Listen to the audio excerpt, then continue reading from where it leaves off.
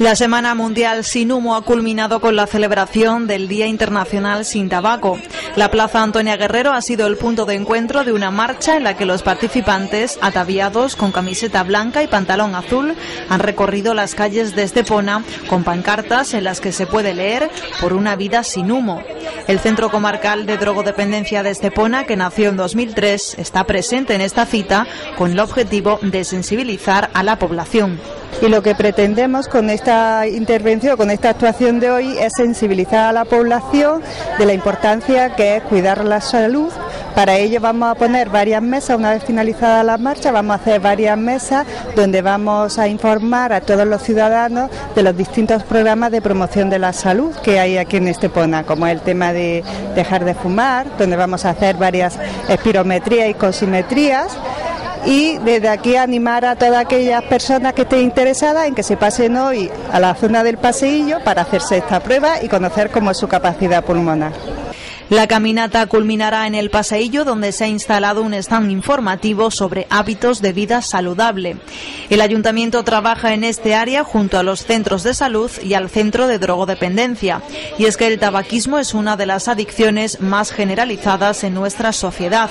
La edil Carmen López Capote ha compartido con nosotros su experiencia. Yo llevo tres años, va a ser tres años que he dejado de fumar. Yo me fumaba dos paquetes diarios de educado, ¿sabes?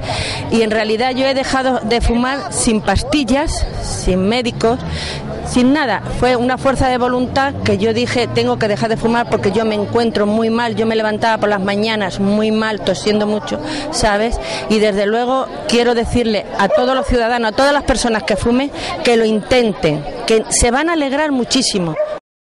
Con multitud de programas para promocionar la salud, se anima a todas las personas a que acudan a la unidad de tabaquismo de los dos centros de salud de Estepona para dejar el hábito del tabaco.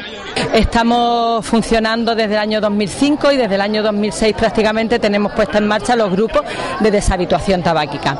Estamos en la Semana Mundial sin humo del tabaco que culmina hoy con el Día Mundial de sin tabaco. ¿no? Eh, estamos haciendo una caminata para promocionar que hay que vivir sin tabaco y hábitos de vida saludable.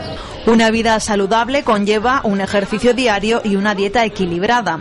Desde el Centro de Salud de Estepona Oeste, además de la unidad de tabaquismo, se ha creado un taller de paseo terapéutico. Como parte del apoyo a que la población eh, realice ejercicio físico, pues entonces tenemos eh, un grupo de ejercicio físico en el Centro de Salud de Estepona, eh, que participamos todos los centros de, de Estepona. entonces lo que vamos a hacer al final es una exhibición de lo que habitualmente hacemos, ¿no? Un poco de chikung, un poco de tai chi, Entonces, pues nada, quien quiera puede participar libremente, aunque sea de otro estilo, invitado está para que practiquen con nosotros.